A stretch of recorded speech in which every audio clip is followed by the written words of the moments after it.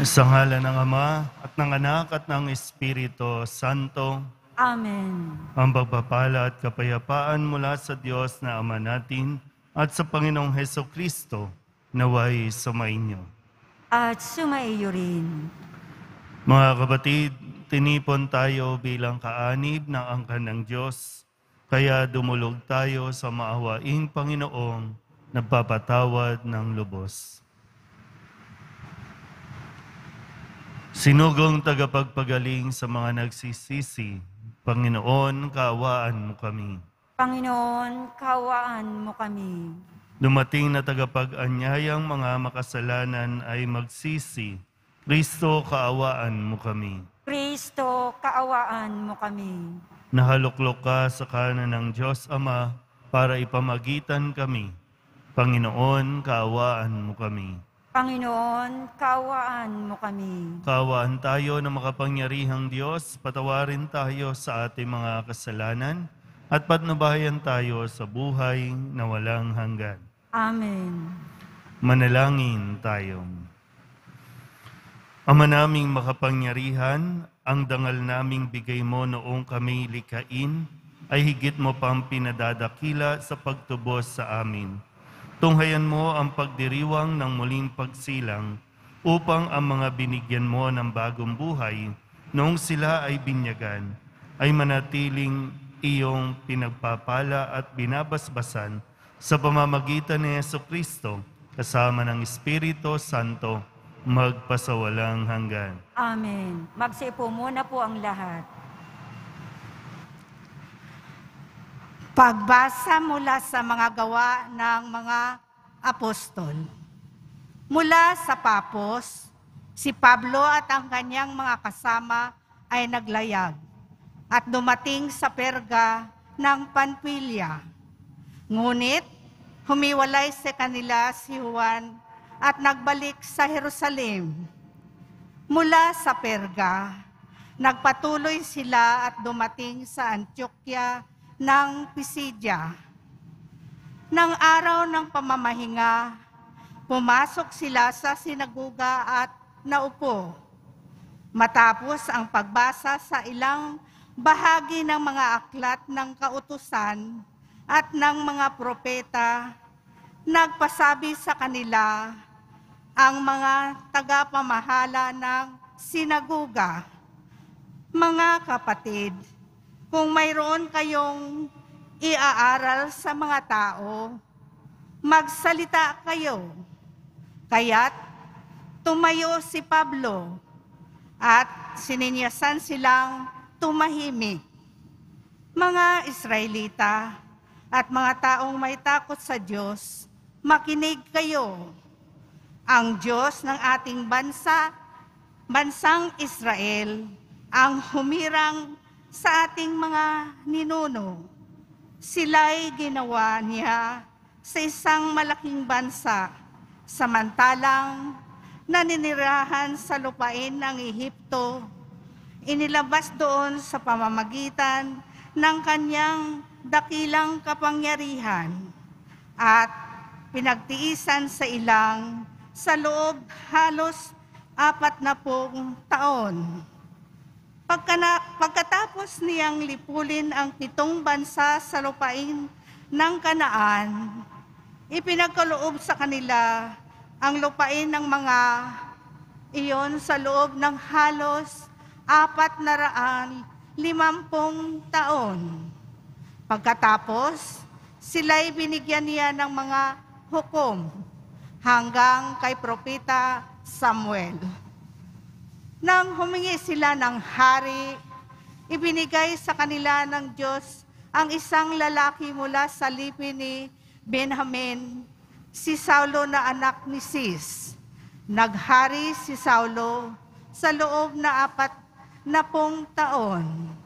At nang siya'y alisin ng Diyos, inihalili si David upang magharis sa kanila at ganito ang patotoo ng Diyos tungkol sa Kanya.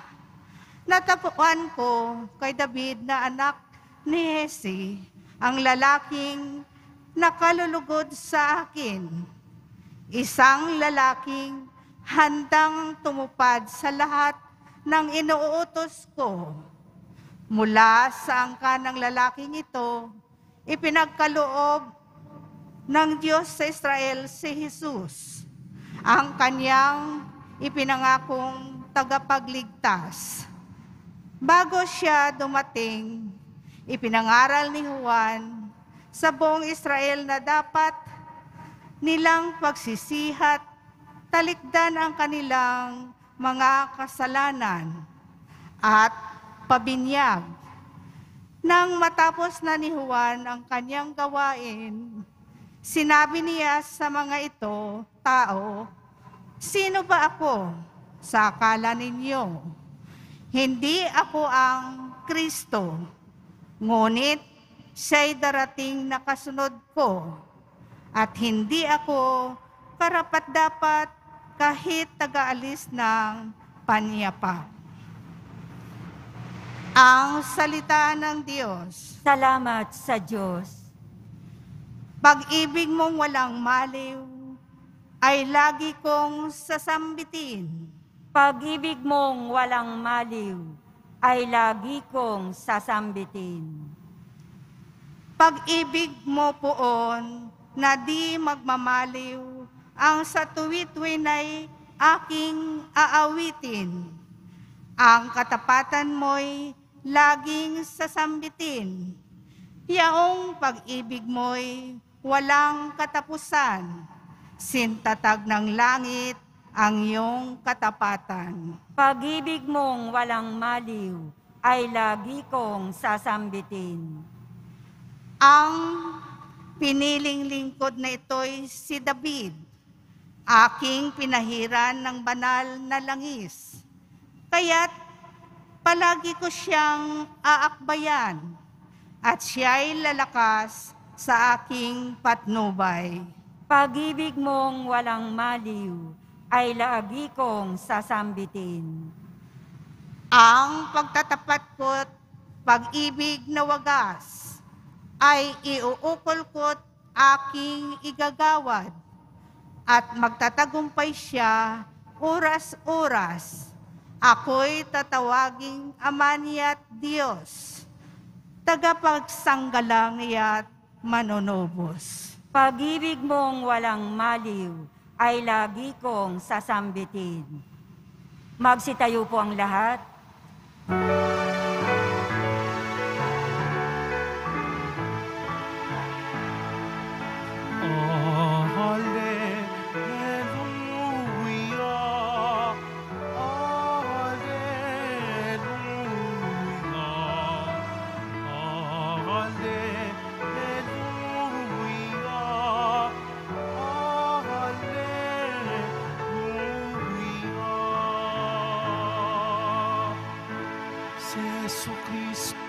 ay tapat, saksi at buhay ng lahat.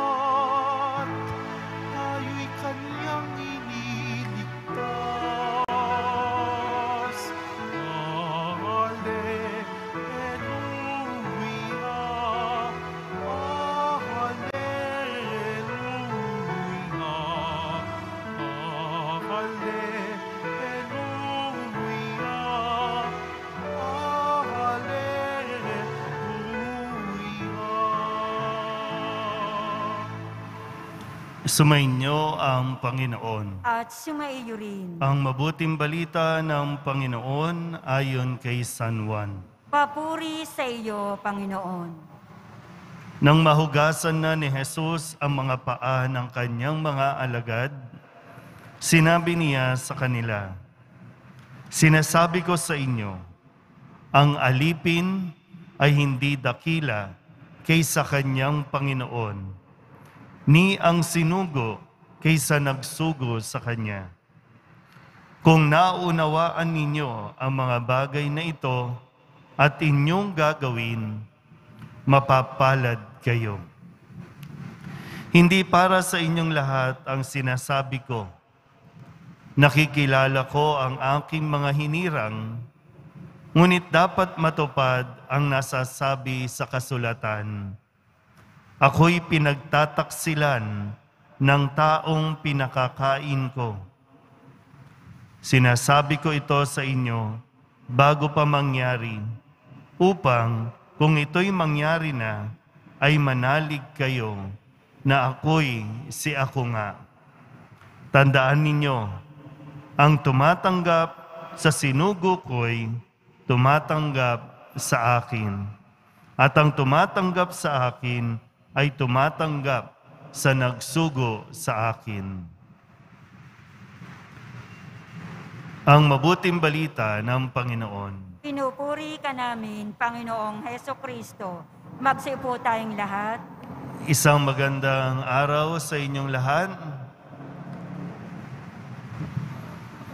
Ang paalala po sa atin, Jesus, sa araw na ito, upang tayo po ay maging mapalad. Pag sinabing mapalad ay yung ano bang ibang term ng mapalad bukod sa maswerte. Yung yung term pa. Sige, sa kontekstong ito, sabi niya, mapalad kayo kung nauunawaan ninyo itong aking mga sinasabi. Sino ba tayo sa harap ng Panginoon? Ano ba dapat yung atin pong pag-uugali o attitude sa harap ng Panginoon? Kapag nandito ba tayo, malinaw ba sa atin na tayo po ay tagasunod lang? Malinaw ba sa atin na tayo ay nakikiusap lang sa Diyos? Bilang alipin, nakikiusap lang tayo sa Diyos, sa ating Panginoon, na ang Panginoong ito ay napakabuti, napakabait. Kaya parang, ang swerte naman natin, yung ganun ba? Yun yung pakiramdam na pag sinabing, mapalad kayo. Yung, ang swerte mo naman. Dahil yan ang Panginoon mo, ang swerte mo naman. Pero ito yung, ang, ang nais ipaunawa sa atin, ay yung pagkilala. Ang isang taong kumikilala sa Panginoon, yun yung tunay na mapalad. Iba sa sinasabi ng, ng mundo na mapalad ka kapag ikaw ang pinapanginoon. Mapalad tayo kung tayo ay nagsisilbi at sumusunod sa tunay na Panginoon. Yun ang tunay na mapalad. At nawa, makita natin yung, yung wisdom no, sa, sa ganong mga pangungusap. Yung bang nakukuha natin maging masaya dahil alam natin kung sino ang ating sinusunod. Nakukuha natin at nararamdaman natin na malaya tayo dahil ang pinakikinggan natin ay ang poong Jesus Nazareno. Yun yung tunay na mapalad. Kasi kung nandito ka, ang tingin natin sa poong Nazareno, hingian lang, hingian lang ng ating kapritsyo, ng ating gusto. Kung yan lang, hingian lang, eh baka hindi nga, hindi pa talaga malinaw sa atin kung sino tayo. Nandito tayo dahil malinaw sa atin na tayo po ay mayroong misyon, mayroong gawain bilang alipin, may ipinagagawa sa atin ang Panginoon. Pero unang-una, ang, ang pinaka ang mahalaga ay yung bago mo magawa yung paglilingkod na sinasabi ni Jesus ay yung marunong kang kumilala. Kinikilala natin siya bilang anak ng Diyos. Kinikilala natin siya. Kung kinikilala natin, susundin natin siya. Yung pagsunod natin, hindi dahil sa takot, hindi dahil sa may kahilingan, kundi dahil malaya nating pinipili na sundin ang kanyang mga ipinag-uutos. Amen. Magsitayo po ang lahat.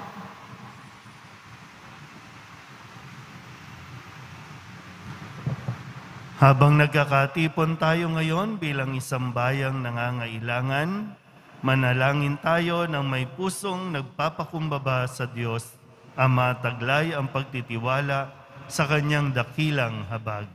Ang ating pong itutugon, Ama, pagpalain mo kami kay Kristo. Ama, pagpalain mo kami kay Kristo. Ang mga namumuno sa simbahan, naway panatilihing buhay ang kanilang pagtatalaga sa sarili. Sa pangangaral ng Ebanghelyo, manalangin tayo. Ama, pagpalain mo kami kay Kristo. Ang mga pinagkatiwalaan ng pamumuno, naway mag-akyat at maging gabay ng mga tao sa diwa ng paglilingkod. Manalangin tayo. Ama, pagpalain mo kami kay Kristo. ang mga tumalikod sa kanilang pananampalataya, naway mahikayat pabalik sa pamilya ng Diyos. Manalangin tayo. Ama, pagpalain mo kami kay Kristo. Ang mga pinanghihinaan ng loob dahil sa pagdaraho at karamdaman, naway makatagpo ng lakas at ginhawa mula kay Jesus na nagtagumpay sa kasalanan at kamatayan. Manalangin tayo. Ama, pagpalain mo kami kay Kristo. ang mga naimayapang tapat sa Panginoon, naway makatanggap ng kanilang walang katapusang gantimpala. Manalangin tayo. Ama, pagpalain mo kami kay Kristo. Idulog din natin sa Panginoon ang ating mga personal na kahilingan at mga panalangin para sa ating mga pamilya. Ganon din ang lahat ng mga misang pasasalamat, special na intensyon at mga kaluluwa na inihiling na ipagdasal sa misang ito.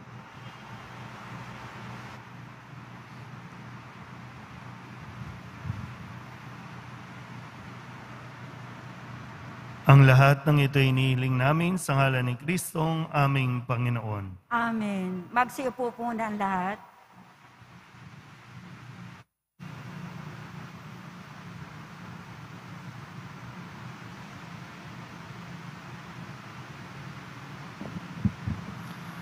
Papuri-puri ka, Diyos amang lumikha sa sanlibutan sa iyong kagandahang loob. Narito ang aming maialay mula sa lupa at bunga ng aming paggawa, ang tinapay na ito para maging pagkaing nagbibigay buhay. Kapuri-puri ang poong may kapal, ngayon at kailanman.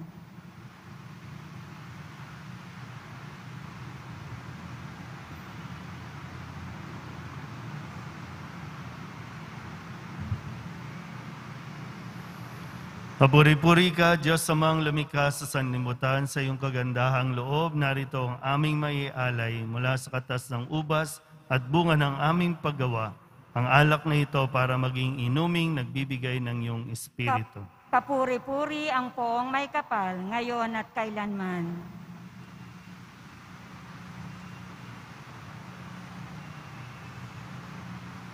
Magsitayo po ang lahat.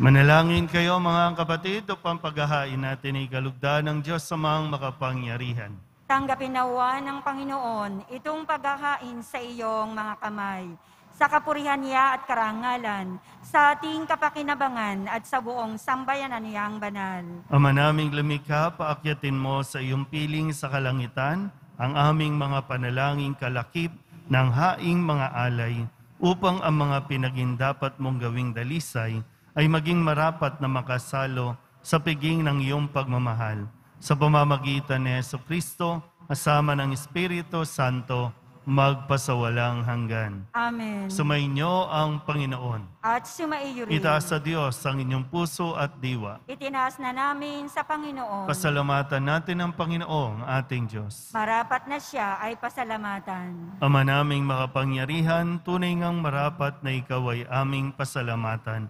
Ngayong ipinagdiriwang ang paghahain ng Mesiyas, ang maamong tupa na tumubos sa aming lahat.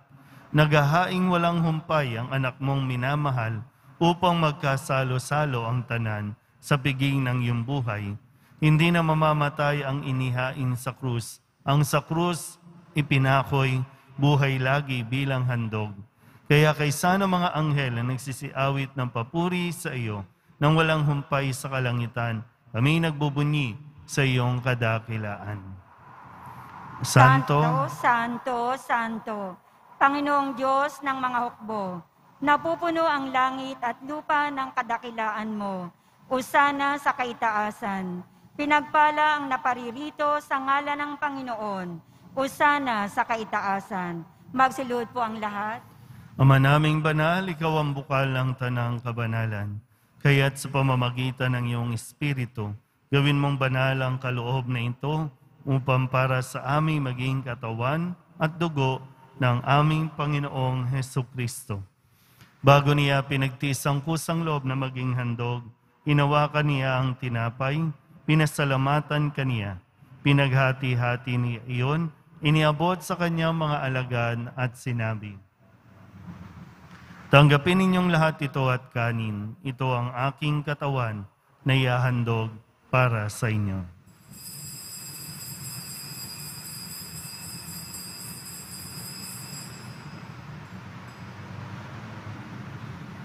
Gayun din naman ang matapos ang hapunan, hinawakan niya ang kalis, muli kaniyang pinasalamatan.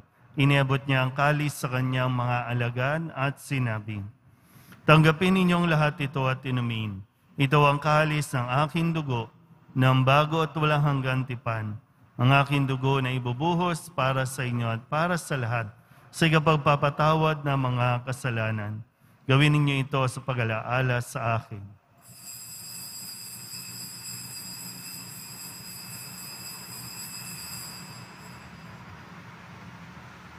Magsitayo po ang lahat. Ipagbunyi natin ang misteryo ng pananampalataya. Si Kristo ay namatay, si Kristo ay nabuhay, si Kristo ay babalik sa wakas ng panahon. Ama, ginagawa namin ngayon ang pag-alaala sa pagkamatay at muling pagkabuhay ng iyong anak.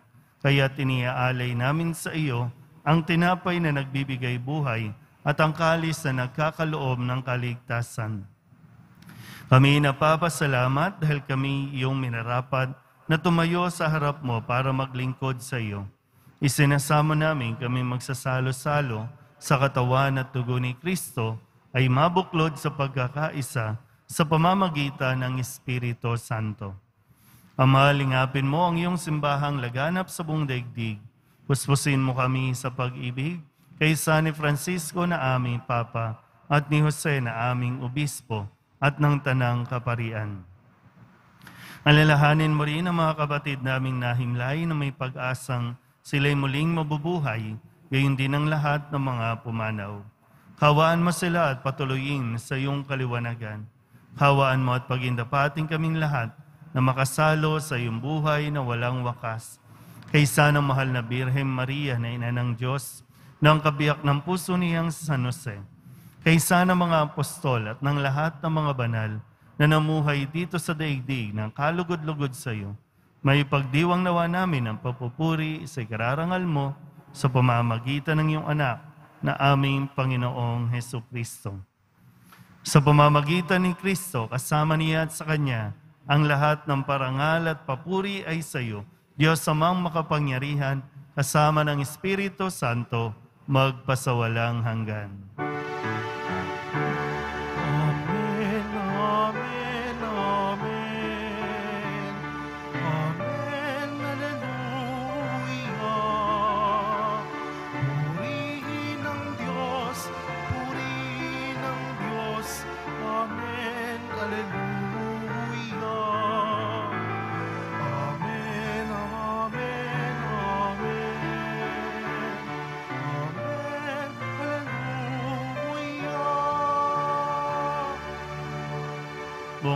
Kababaang loob tayong tumawag sa ating Panginoon ng Ama namin.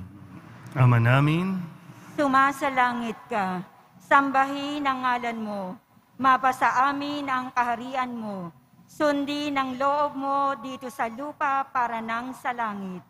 Bigyan mo kami ngayon ng aming kakanin sa araw-araw, at patawarin mo kami sa aming mga sala, para nang pagpapatawad namin sa nakakasala sa amin. At huwag mo kaming ipahintulot sa tukso, at iadya mo kami sa lahat ng masama. inihiling namin kami iadya sa lahat ng masama, pagkalooban ng kapayapaan araw-araw, iligtas sa kasalanan, at ilayo sa lahat ng kapahamakan, samantalang aming pinananabikan ang dakilang araw ng pagpapahayag ng tagapagligtas naming si Heso Kristo. Sapagat iyo ang kaharian at ang kapangyarihan at ang kapurihan magpakailanman. Amen. Panginoong Heso Kristo, sinabi mo sa iyong mga apostol, Kapayapaan ang iniiwan ko sa inyo, ang aking kapayapaan ang binibigay ko sa inyo. Tunghayan mo ang aming pananampalataya at huwag ang aming mga pagkakasala.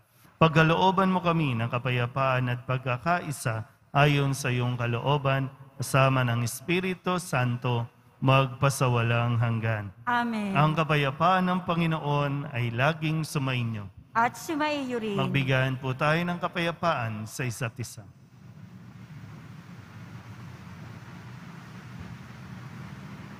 Kordero ng Diyos na nag-aalis ng mga kasalanan ng sanlibutan, maawa ka sa amin.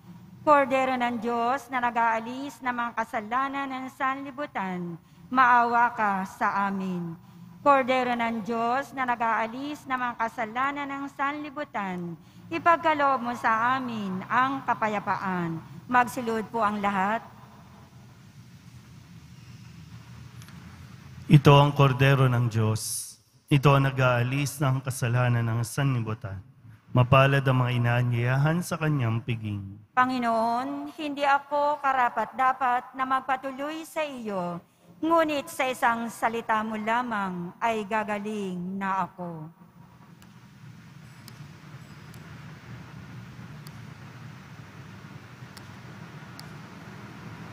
Katawan ni Kristo, Amen.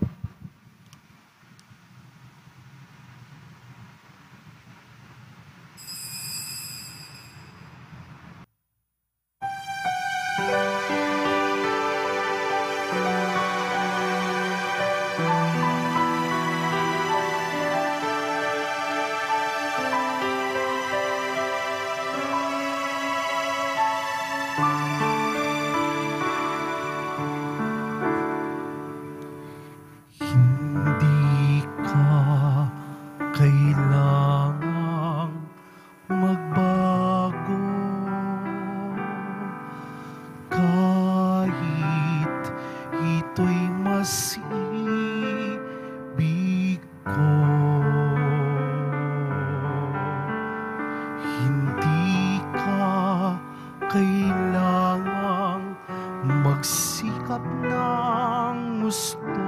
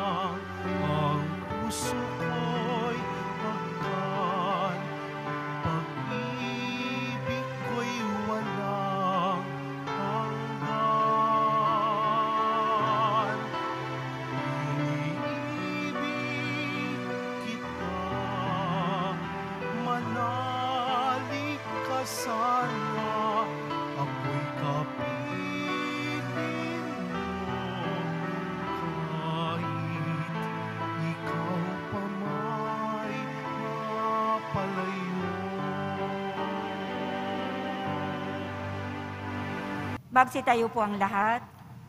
Manalangin tayo. Ama naming mapagmahal, kaming pinapagsalo mo sa pagkabuhay ng iyong anak, ay papakinabangin mong lagi sa kanyang lakas bilang bungang masagana ng dulot mong pagliligtas sa pamamagitan niya kasama ng Espiritu Santo magpasawalang hanggan. Amen. Sumainyo ang Panginoon. At sumaiyo rin. Manalangin tayo para sa pagbabasbas. Mahal na pong Jesus Nazareno, inihayag mo sa pamamagitan ng krus ang walang maliw na pag-ibig ng Diyos sa sangkatauhan. Pakinggan mo ang kahilingan ng iyong angkan na nagsusumamo sa iyo. Makamtanawa nila ang iyong katugunan at tanggapin ang kasagutan na may utang na loob na tinatanaw. Basbasan din po ninyo ang mga dala-dala nilang mga imahin at dasalan sa pamamagitan ng bendisyon na ito, naway maalala nila ang mga pangako nila noon sa binyag na ikaw ang kanilang ibigin at paglilingkuran bilang Panginoon magpasawalang hanggan. Amen. At pagpalain kayo ng makapangyarihang Diyos, Ama at Anak at Espiritu Santo. Amen. Mayo kayong taglayang kapayapaan ng poong Jesus Nazareno. Salamat sa Diyos. Magandang araw po.